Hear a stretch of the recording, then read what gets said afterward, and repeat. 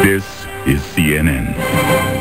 Guten Morgen wünsche Ihnen Emma von den Witwer-Nachrichten. Hier die Schlagzeilen. Die Fieberkatastrophe bei den Witwers ist immer noch nicht zu Ende. Dazu ein paar Zahlen. Folgende Temperaturen wurden gemessen. Rosa 39,2, Birgit 38,3, Clemens 37,2, Emma 36,7.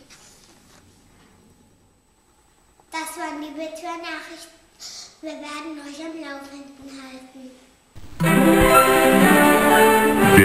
is CNN.